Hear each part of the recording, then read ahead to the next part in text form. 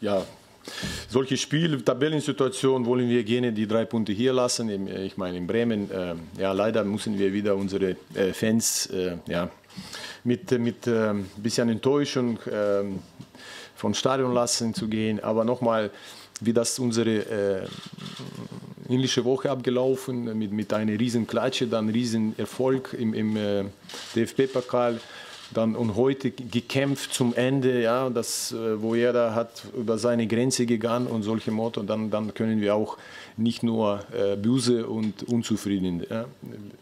Wir sind trotz heute äh, Punkt oder trotz, wenn wir heute drei Punkte geholt hätten, ja, dann, dann auch nicht das bedeutet, dass alles schon erledigt und so. Ja. Jeder sieht das, so eng ist das, das wird bis zum Ende geht, äh, Schlag auf Schlag und das müssen wir von dieser Sache auch bereit sein.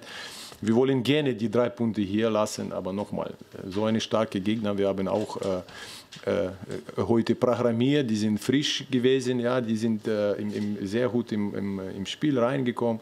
Aber zum Schluss, wo wir haben schon echt äh, gezeigt, dass wir echt äh, können wir auch über die Grenze gehen und mit, mit die Chancen äh, leider nicht so effektiv heute gewesen ich glaube, das verdiente Punkt für, für beide Mannschaften äh, war ein gutes äh, Abstiegskampfspiel.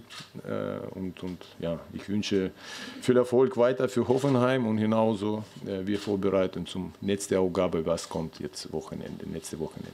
Dankeschön. Okay, heute, äh, Santi, freut mich, äh, dass du mir heute die Fragen stellst. Ähm.